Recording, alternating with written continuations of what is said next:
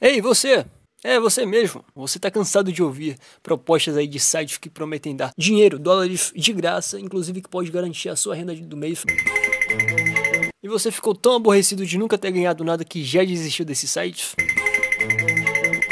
Pois seus problemas acabaram. Conheça um site chamado Airdrop SB. Nesse site você pode fazer cadastros em uma lista de airdrops com valor estimado. Aproveite essa oportunidade. Mas e aí, amigo? Já fez os airdrops? E como é que tá a sua situação agora? Fala galera, eu sou o Rodrigo e sejam todos muito bem-vindos a mais um vídeo aqui do canal Grana no Bolso.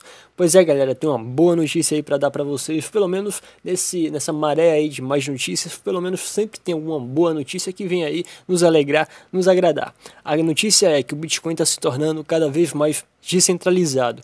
Ah, mas o que, que isso quer dizer de bom? Isso quer dizer o seguinte, que uma possível manipulação por parte de baleias, por parte aí de grandes investidores, no caso, caso grandes empresas aí se juntem para tentar formar um bloco, para tentar aí manipular o preço do Bitcoin, diminui drasticamente as chances, tá? Acabar 100% ainda não está nessa fase. Eu creio que um dia chegue lá e tudo que eu falo é o seguinte, galera, não precisamos de governo, o que precisamos é simplesmente deixar a coisa descentralizada, deixar a coisa na mão da iniciativa privada, porque a concorrência é capaz de regular e o próprio mercado é capaz de regular e aperfeiçoar os métodos aí e consequentemente resolver problemas. E foi a competição, foi justamente a concorrência que resolveu esse problema. Eu já vou falar sobre isso para vocês, tá?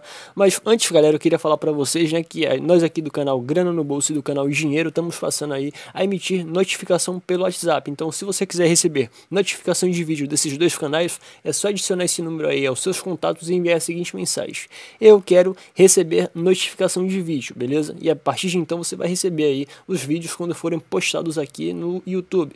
Mas vamos falar aí sobre essa questão, né, né, galera? Sobre a descentralização do Bitcoin. Eu sempre venho falando aqui com vocês que essa tecnologia de criptomoedas é algo recente, ainda está amadurecendo, está ali na fase da adolescência, que está ali fazendo uma comparação aí com o desenvolvimento humano, né?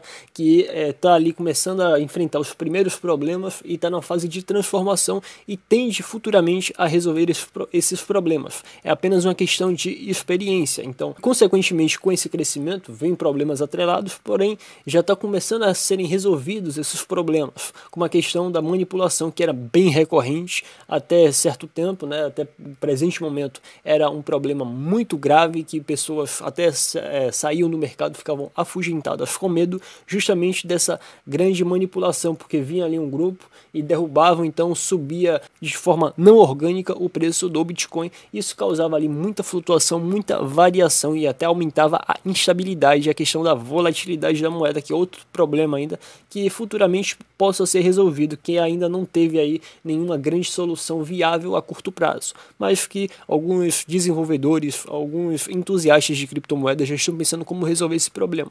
Mas a questão do, da manipulação das baleias está diminuindo bastante porque um relatório aí de uma empresa né, que faz pesquisa, de uma, uma empresa canadense especializada em pesquisa de serviços financeiros, a Canaccord Genuity Group, ela produziu aí um relatório no mês de fevereiro falando que o Bitcoin está se tornando cada vez menos centralizado aí nos últimos anos. Ah, mas o que, que poderia estar tá ocorrendo isso? Olha só, são inúmeros fatores. Temos, eu particularmente, isso não foi é, mencionado na matéria, mas eu posso aqui tentar elencar esse motivo, é uma opinião minha. Eu acho que a própria redução do preço do Bitcoin acabou afastando aí é, pessoas aí que tinham muita grana, que poderiam aí comprar boa parte de, das criptomoedas e tentar dar uma certa manipulada no mercado. Então, por isso que eu falo, um crescimento mais orgânico, até com preço menor, é bom para o próprio o ecossistema das criptomoedas. Então, eu creio que esse fator é, acabou ajudando. Não foi o, o principal possibilitador